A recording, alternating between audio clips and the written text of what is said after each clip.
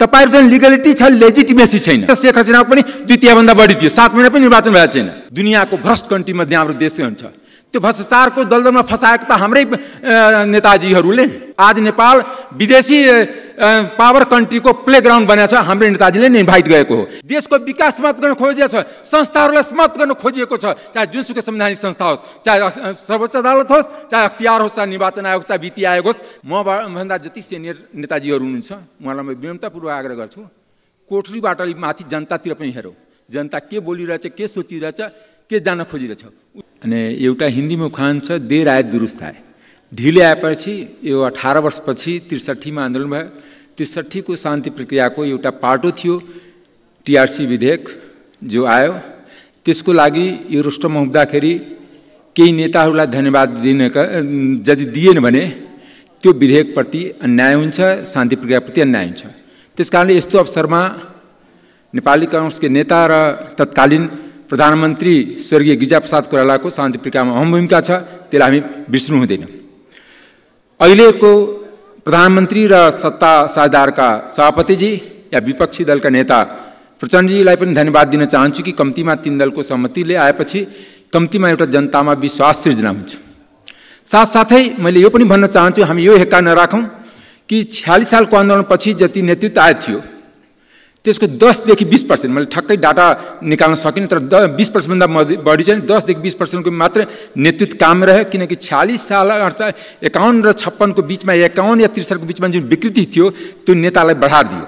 यो संसदमा अस्सी पर्सेन्ट नयाँ अनुहार छ। म पनि रोस्टरमा उठ्दाखेरि बासठी त्रिसठीका आन्दोलनकै प्रोडक्ट हो शान्ति प्रक्रियाको प्रोडक्ट हो। या चाहिँ नेपाली कङ्ग्रेसको महामन्त्री सामने हेरिराख्नु भएको छ उहाँ पनि बासठी त्रिसठीको आन्दोलनको प्र- प्रोडक्ट हो छ्यालिसको आन्दोलनको प्रोडक्ट होइन। छ्यालिसको आन्दोलनको प्रोडक्टहरू उहाँ प्रकाश मन्दाई हुनुहुन्छ अथवा फर्स्ट रोमा बस्ने एमालेका साथीहरू हुन्छ। माओवादीका सबै साथी त्रिसठीको आन्दोलनकै प्रो- प्रो- प्रोडक्ट दुई चारजना महाराजीहरू जित्नु भएको थियो धेरै थिएन। र अधिकांश युवा साथीहरू चाहे एमालेका हुन् चाहे काङ्ग्रेस अन्य पार्टीका हुन् तर म साथसाथ यो पनि एउटा मैले विधेयकमा मैले विधेयकमा पहिले समर्थन गरेँ कि देर आए। हाम्रो देशमा शान्ति चाहन्थ्यो कि शान्तिको किम्मत हुँदैन। गिजाउले बारम्बार भन्थ्यो किनकि तत्कालीन अर्थमन्त्रीले पैसा दिनेमा धेरै आनाकानी गर्नुहुन्थ्यो जसले पनि हामीलाई दोष लाग्थ्यो मलाई कृष्ण सिटौलाजीलाई यिनीहरूलाई कि यिनीहरूले माओवादीलाई उचालेर बढी पैसा दिलाइरहेछ। तर गिर्जाको एक वर्ड मात्र हुन्थ्यो कि शान्तिको कुनै किम्मत हुँदैन। किनकि रामचन्द्र दाई पैसा दिनेमा धेरै कन्जुसी गर्नुहुन्थ्यो। त्यस कारणले तर आयो शान्ति। तर शान्तिको साथसाथ विकृति पनि आयो यो पनि हामी हेक्का राखौँ खास गरी मैले युवा नेतृत्वहरूलाई आकर्षण गर्न चाहन्छु। के त्रिसठीको आन्दोलनपछि हामी देशलाई राम्रै गरेका छौँ? के आज जुन अहिले भर्खर मानि प्रभुसा जानुभएको छ उहाँसँग मेरो कुनै सहमति छैन यो एजेन्डामा तर उहाँले एउटा तेस्रो आन्दोलन हुन्छ। के हुन्छ दुईवटा कुरा म पोलिटिकल साइन्सको कुरा मात्र गर्न चाहन्छु।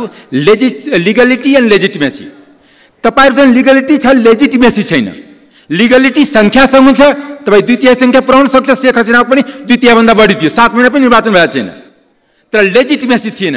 Legitimacy always comes from people र पिपुलको लेजिटिमेसी पर्सेप्सनबाट हप्ते पछि महिने पछि सरकारको पार्टीको काम कारवाहीबाट चेन्ज हुन्छ। आजको दिनमा हाम्रो संसदको लिगलिटी छ लेजिटिमेसी छैन। म भन्न चाहन्छु एउटा संसदको सदस्यको नाताले। लेजिटिमेसी एन्ड लिगलिटी दुईवटा डिफ्रेन्ट वर्ड हो। किन? कि आजको दिनमा दुनियाँको भ्रष्ट कन्ट्रीमध्ये हाम्रो देश हुन्छ।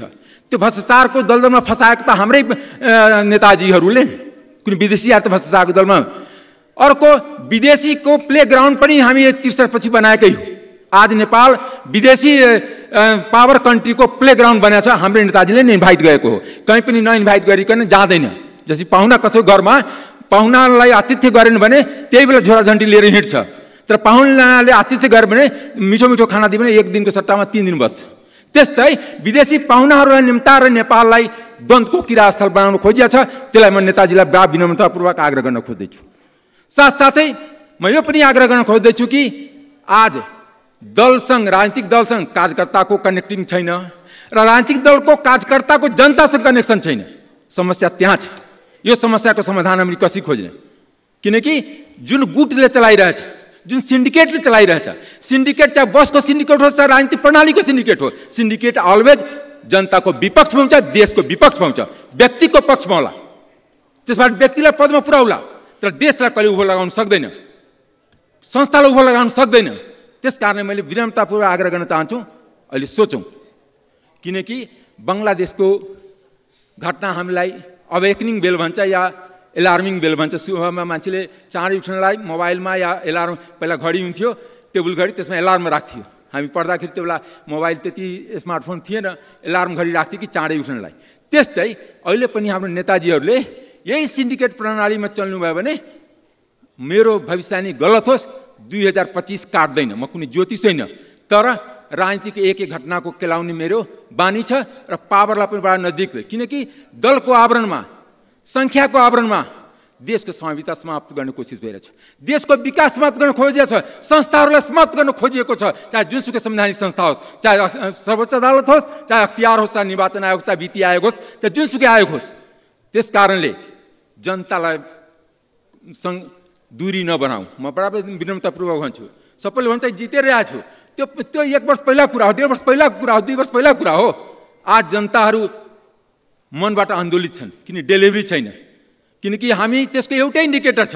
जुन देशको अठार खरबको बजेटमा पन्ध्र साढे पन्ध्र खरब साधारण खर्च हुन्छ तिन खरब एलोकेट गर्छ दुई खरब मात्र विकास खर्च हुन्छ या पुँजीगत खर्च भन्छ त्यसलाई। त्यो देशमा विकास भनिन्छ।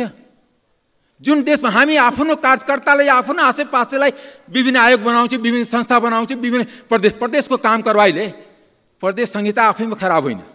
त संहिताको जुन तरिकाले कार्यान्वयन नेताजीहरूले गरिदिनु भएको छ त्यो आफैमा खराब मान्य सदस्य अभिव्यक्तिलाई म छुट्याउनुहोस् एक लाइन अनुरोध गर्छु म कम्प्युटर गर्छु। त्यस कारणले मभन्दा जति सिनियर नेताजीहरू हुनुहुन्छ उहाँलाई म विनम्रतापूर्वक आग्रह गर्छु कोठरीबाट अलिक माथि जनतातिर पनि हेरौँ। जनता के बोलिरहेछ के सोचिरहेछ के जान खोजिरहेछ उसको समस्या के छ? तपाईँको दलको दुई चारजना कार्यकर्तालाई मन्त्री बनाउने बित्तिकै देशको समस्या समाधान हुँदैन। देशको समस्या गरिबी समाधान हुने शिक्षा स्वास्थ्य जुन समावेश त्यसबाट समावेशिता न कहीँ दलितको अनुहार देखिन्छ न कहीँ मुस्लिमको अनुहार देखिन्छ न कहीँ जनजातिको अनुहार देखिन्छ एउटै समुदायको अनुहार सबै ठाउँमा देखिन्छ। एउटै समुदायबाट राज्य सञ्चालन गर्नुभयो भने यो राज्यमा दुर्घटना अब सम्भावित छ त्यो दुर्घटनाबाट बचाउनको लागि म एकदम विनम्र आग्रह गर्छु। धन्यवाद।